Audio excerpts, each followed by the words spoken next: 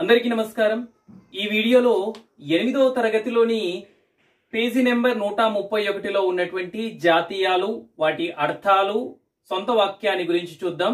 ఎవరైనా ఈ ఛానల్ని సబ్స్క్రైబ్ చేసుకోకపోతే వెంటనే సబ్స్క్రైబ్ చేసుకోండి. ఇందులో ఉన్నటువంటి వీడియోలను మీ మిత్రులకి షేర్ చేయండి.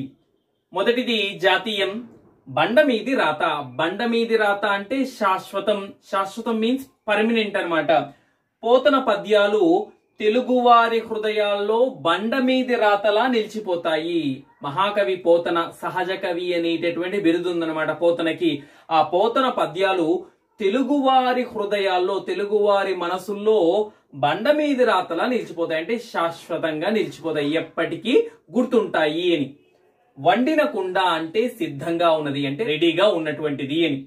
బాగా చదువుకున్న విద్యార్థులకు మంచి ఉద్యోగాలు వండిన కుండలా ఉన్నాయి. బాగా చదువుకున్నటువంటి విద్యార్థులకు పెద్ద పెద్ద ఉద్యోగాలు అంటే బాగా డబ్బు వచ్చేటటువంటి ఉద్యోగాలు వండిన కుండలా ఉన్నవి అంటే రెడీగా ఉన్నవి. కాబట్టి మీరందరూ బాగా చదువుకోవాలి. కప్పను తిన్న పాము. పాము గనక కప్పను తింటే మూడిగా ఉంటుంది అచేతనంగా ఉంటుంది. ఏమాత్రం చలనం ఉండదనమాట మబ్బుగా ఉంటుందన్నమాట. అర్థం కూడా అదే. కప్పను తిన్న పాము అంటే అచేతనం మబ్బు. కప్పను తిన్న పాములా ఉన్న విద్యార్థి ఏ విషయంలోనూ చురుగ్గా ఉండలేడు.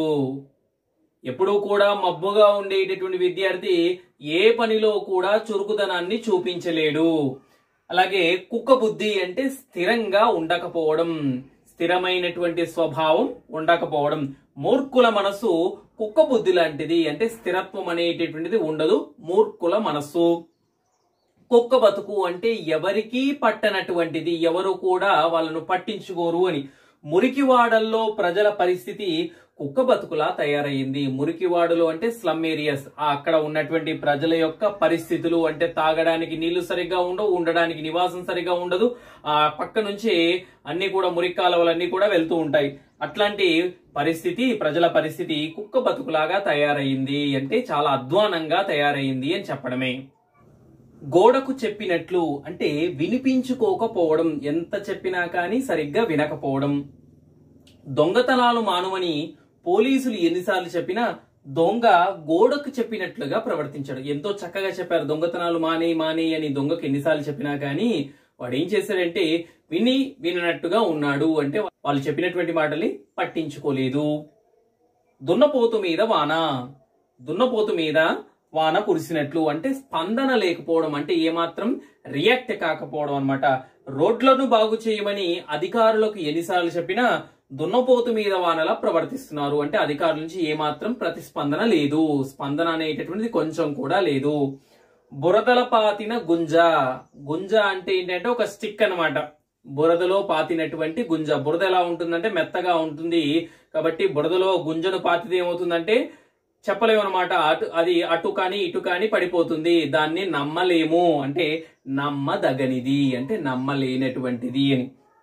అవినీతి పరుల్లో మార్పు వస్తుంది అనుకోవడం బురదల పాతిన గుంజ లాంటిది. అంటే అవినీతి పరులు అంటే కరప్షన్ చేసేటటువంటి వాళ్ళు కరప్షన్ చేసేటటువంటి వాళ్ళను అవినీతి పరులు అంటారు. వాళ్ళల్లో మార్పు వస్తుంది అనుకోవడం అనేటటువంటిది నమ్మలేనటువంటి విషయము.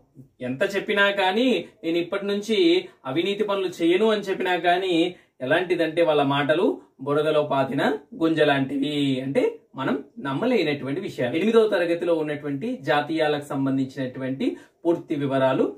ధన్యవాదాలు.